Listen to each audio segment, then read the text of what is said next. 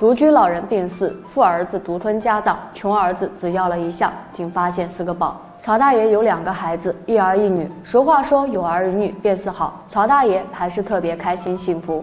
大女儿叫曹蕊，小的时候是个善良可爱的小姑娘，长大后更是一眉目清秀、清纯可人的小美女。不过小蕊一直都是在农村生活，所以农民那种勤劳耐苦的精神，小蕊也是全部都有的。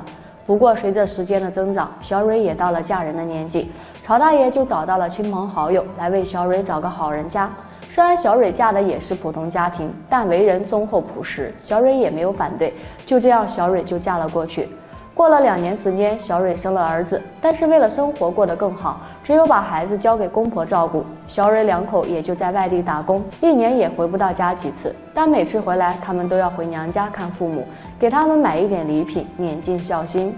孙大爷的另一个儿子叫曹德善，取这个名字就希望儿子能够有德有善。不过儿子大了，也出去打工，谈了个女朋友，可能应了那句话：有了老婆忘了娘。可能因为城里媳妇看不起农村，生活说话方式也有偏颇，两年来就回家两趟，也没有给家里一分钱。曹大爷在工厂上班，谁曾想工厂体检的时候查出患有肠癌。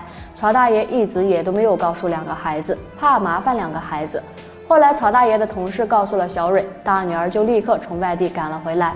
小蕊通知了德善，破天荒他回来了。但是回来之后，第一句话就是：“你工作这么多年，肯定还有不少存款，反正你人也快要走了，就给我吧。”曹大爷眼睛闭着，一句话也没说，却不知心里该有多寒呀。后来德善见没有钱，就回他的城里了。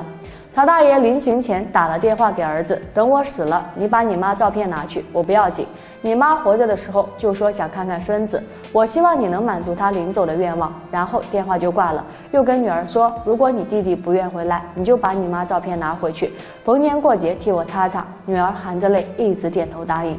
曹大爷的后事料理完，也没见德善回来，小蕊就把母亲跟父亲的照片带了回去。整理的时候却发现有张银行卡，还有一封信。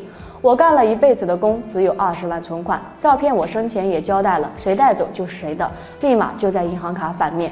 此刻，小蕊才恍然大悟，为何父亲在临终前还要嘱咐照片？心想，这都是父亲安排好的，留给我的遗产。